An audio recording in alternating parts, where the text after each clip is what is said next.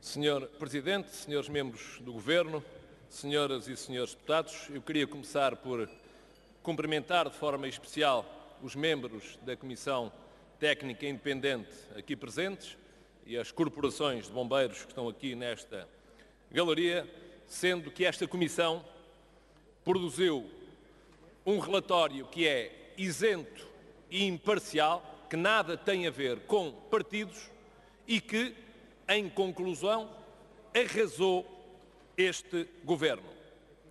Perante esta dura evidência, esperava-se que uma, que uma voz humilde de um membro do governo, especialmente do seu líder, porque a importância justificava isso mesmo, viesse aqui assumir perante os portugueses a sua responsabilidade e se vergasse perante as vítimas e as suas famílias.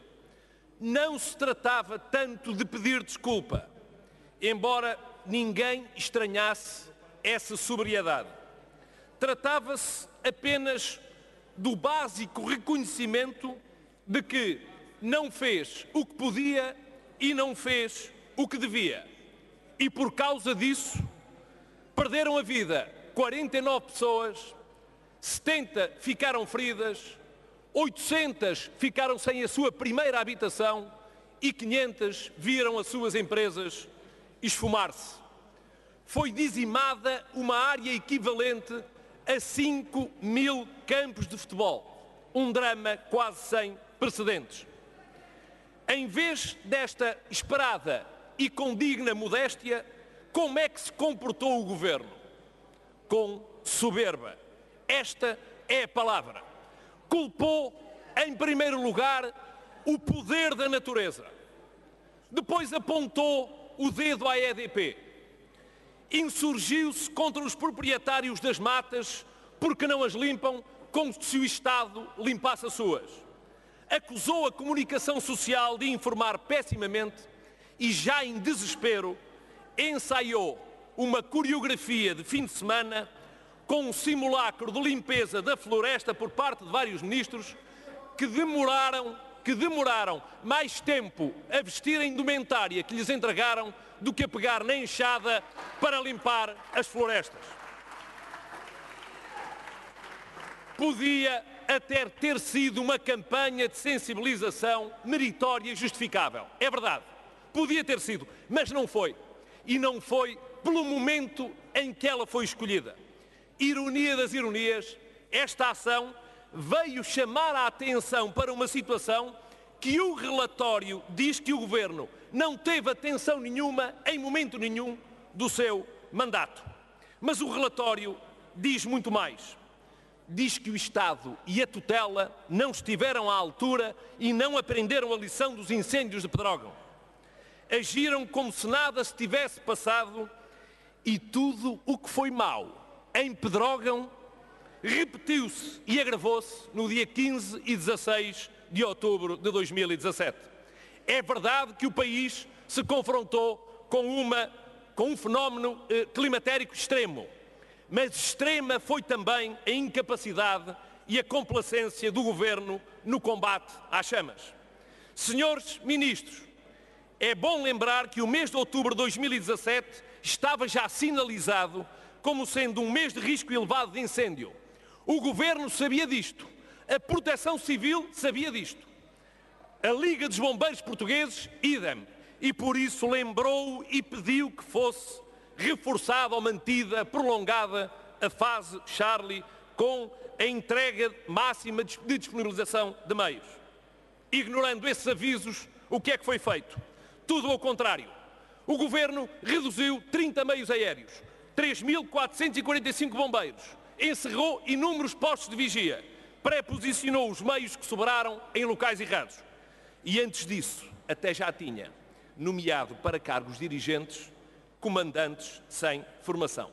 Mas há mais. E, Sr. Ministro da Administração Interna, não é nenhuma diatribe. Perante um mês atipicamente quente e adverso, como é que reagiu o governo aos, aos apelos da proteção civil. E isto está comprovado documentalmente. Pode atirar o caso para os tribunais, para as comissões de inquérito, que a verdade é só uma. Em 27 de setembro, a Proteção Civil pede um reforço de bombeiros de 105 equipas. O Ministro da Administração Interna, ou o Secretário de Estado da Administração Interna, hoje deputado, apenas autorizou 50. No dia 9 de outubro, a uma semana destas tragédias, pediu autorização para a alocação de quatro aviões, de quatro aeronaves. A resposta só veio no dia 16, depois de morrerem 46 pessoas. No dia 9 de outubro, a Proteção Civil pede mais quatro helicópteros. A resposta só lá chegou no dia 16, já depois dos incêndios e depois das tragédias. Isto não é tudo, senhores ministros, senhores membros do Governo, senhores deputados.